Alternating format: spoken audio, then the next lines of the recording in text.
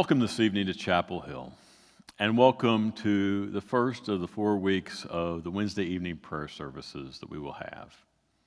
It's a time at the close of the day on Wednesday midweek for us to connect and reconnect, a time for us to focus and refocus our lives in prayer, a time in which we will seek comfort and peace of our Lord in this season that seems pretty chaotic it's a time for us together to discern God's direction in this season and to know the hope of our Lord Jesus Christ in the midst of all that's going on in the world. I'm glad you chose to join us this first night, and I pray that it will be a night that will lead to the other nights to follow of peace and hope for you, and joy and a sense of serenity in your hearts. Let us join together in our proclamation of light. Light and peace in Jesus Christ. Thanks be to God. Please bow with me in prayer. Creator God, you summon the day to dawn, and the evening rejoices to come at your call. For you, the valleys shall sing for joy, the trees of the field shall clap their hands. For you, the kings and queens of the earth will bow. The poor and the persecuted will cry out for joy. Your love and mercy shall last forever. Fresh as the morning, sure as the sunrise. Great is your name, and great is your love. And they all said, Amen.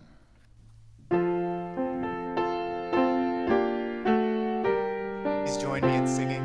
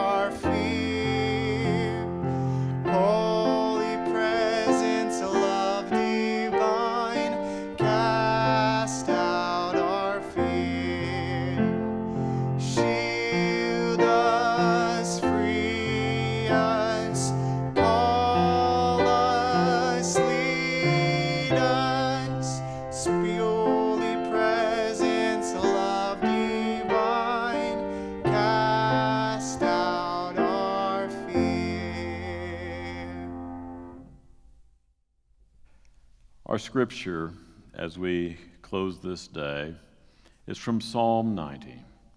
Hear these words that are attributed to Moses.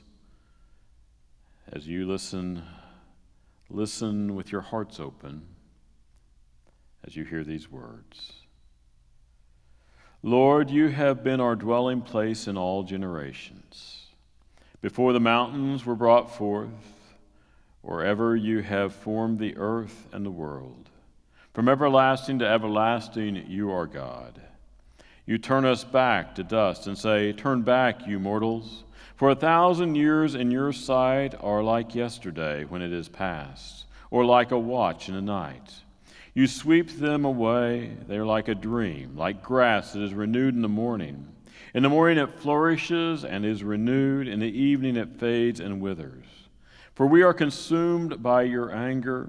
By your wrath we are overwhelmed. You have set our iniquities before you, our secret sins in the light of your countenance. For all our days pass under your wrath. Our years come to an end like a sigh. The days of our life are 70 years, or perhaps 80. If we are strong, even in their span is only toil and trouble. They are soon gone, and we fly away. Who considers the power of your anger? Your wrath is as great as the fear that is due you. So teach us to count our days that we may gain a wise heart. Relent, O Lord. How long will it be? Have compassion on your servants. Satisfy us in the morning with your steadfast love, so that we may rejoice and be glad all our days. Make us glad as many days as you have afflicted us, as many years as you have as we have seen evil. Let your work be manifest to your servants, and your glorious power to their children. Let the favor of the Lord our God be upon us and prosper for us the work of our hands. O prosper the work of our hands. I would encourage you to join with me in a time of silence, reflecting upon these words, but especially upon the passage of this, the verses of this passage. Prosper the work of thy hands. Remember all those things that you've been about this week, this day. And also upon the words, So teach us to count our days, that we may gain a wise heart. Think of the ways your heart has been touched today, the way you've touched other people's hearts, through the work of your hands. Let us be in a time of silence as we contemplate and meditate upon those holy words.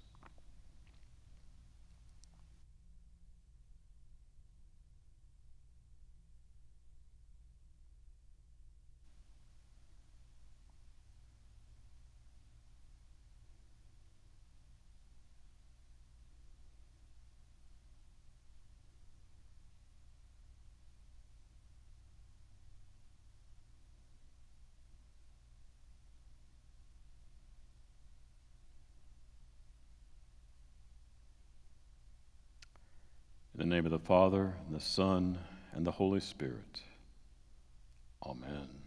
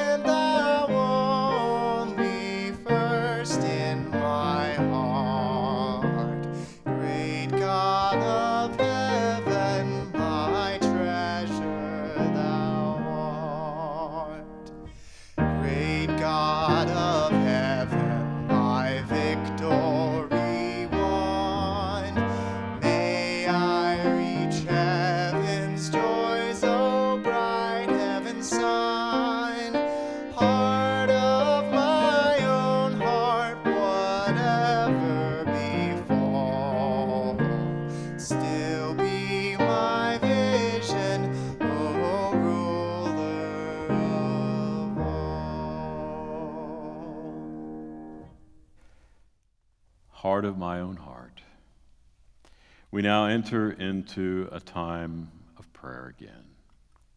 The prayer that I will pray and lead us in praying is a responsive prayer.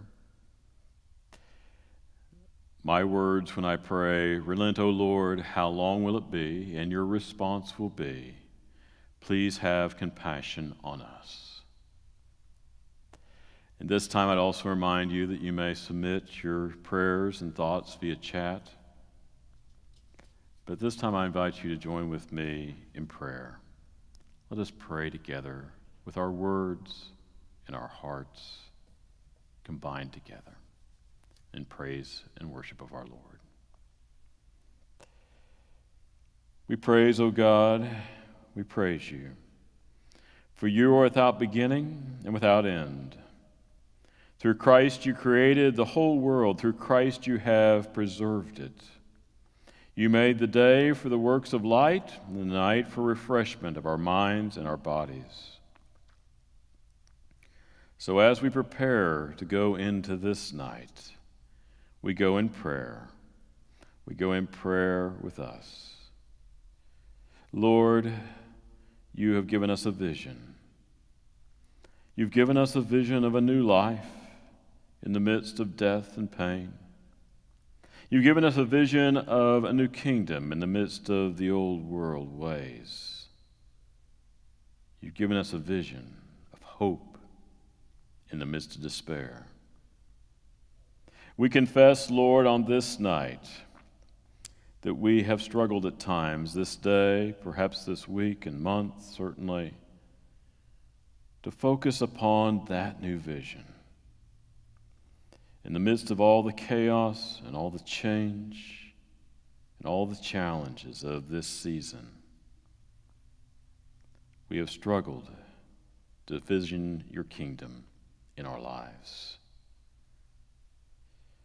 Relent, O Lord, how long will it be? Please have compassion on us. We have struggled to believe in your presence. In the midst of all that is going on, sometimes it seems that the chaos of the world has taken over. Our lives have been turned upside down, our routines have been lost. Our pain is about us. The pain of the world is before us every day, Lord. Death. In the midst of that, we've struggled to see your presence because of all the other things that have distracted us. Relent, O Lord. How long will it be? Please have compassion on us. We have struggled to trust and hope in you. We have lost control that we thought we had, but probably never had. We have lost a sense of control. We've lost, some of us have lost a sense of purpose and direction. In the midst of all that, Lord, we've lost our trust and hope in you for moments. And so, relent, O Lord. How long will it be? Please have compassion on us. In the midst of our struggles, in the midst of our challenges, we know, Lord, in our heart of hearts that you offer grace equal to every need. You created this world out of chaos. And so, as we live in the midst of chaos, we know, we know and trust that a new world is coming, a new way is bursting forth. And we pray for you to give us eyes to see that world. Your love for us remains steadfast, it never ends. Regardless of the struggles that we face personally or spiritually, Regardless of our failures and even our doubts, your love remains steadfast. We give thanks, Lord. We give thanks. And tonight, Lord, we lift before you the concerns of our hearts for others and ourselves. We pray for the leaders of our world, of our country, of our state, and of our city. We pray for the leaders of our churches, that you would grant them wisdom, grace, and hope. And now, Lord, we name them before you, each of us.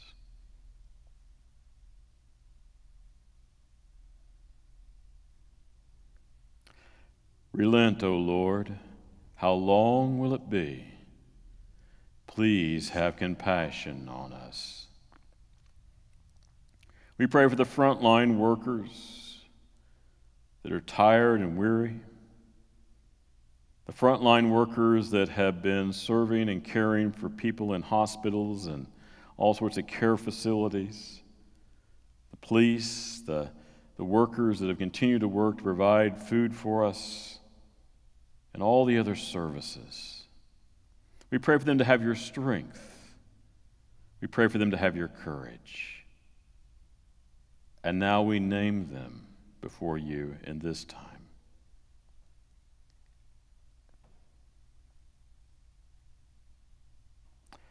Relent, O Lord. How long will it be? Please have compassion on us.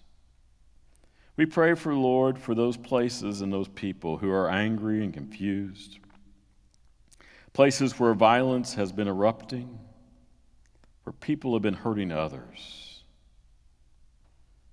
We pray, O oh Lord, for your peace in their minds and their hearts. We pray for peace in those communities that we name now, among those people that we know are hurting. We pray for your peace as we name them.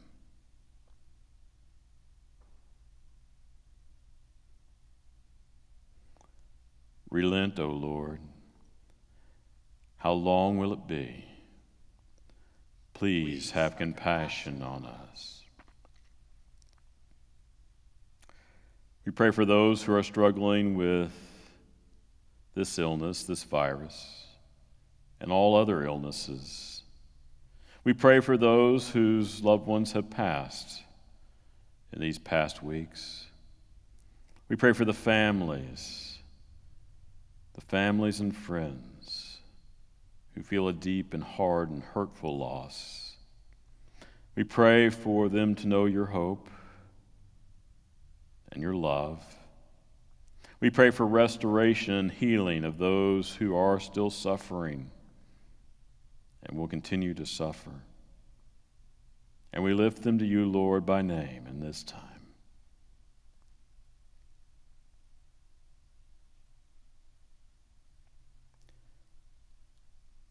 Relent, O Lord. How long will it be? Please have compassion on us. We pray for families families who are facing new and difficult challenges in many ways. What at first, Lord, seemed to be nice to be together and to be home with our children and families. But now, Lord, this has drug on for a while, and for some of our families with children and many children, trying to educate them when we are not educators has been hard. We become stressed out having to be with each other in such close proximity at times.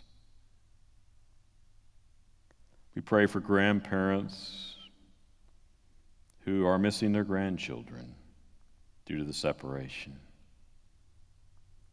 We pray they know of your love and hope. We pray that they would have some sense of great memories that would carry them through this season until they can be reunited.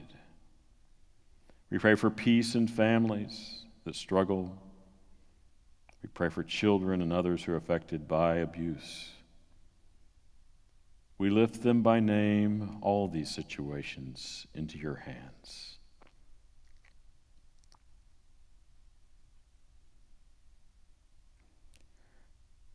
Relent, O Lord. How long will it be?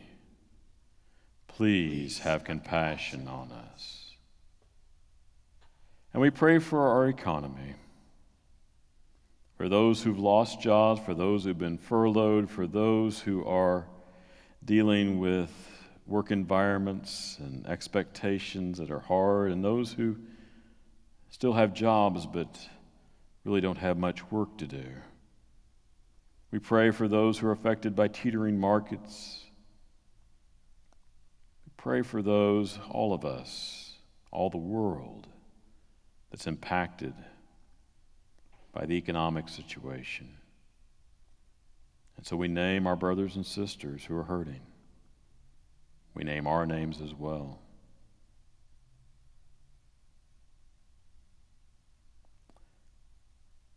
Relent, O Lord.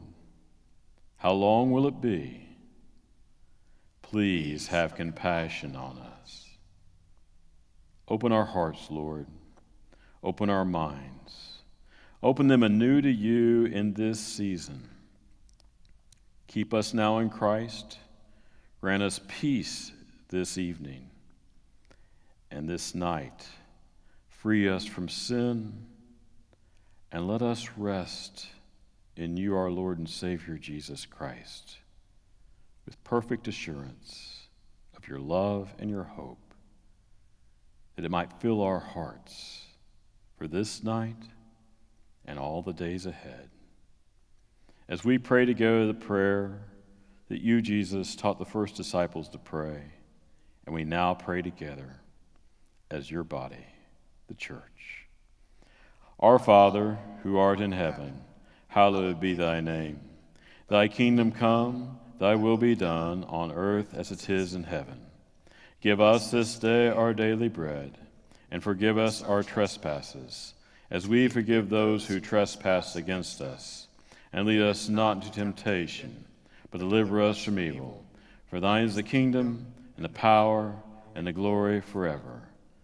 Amen.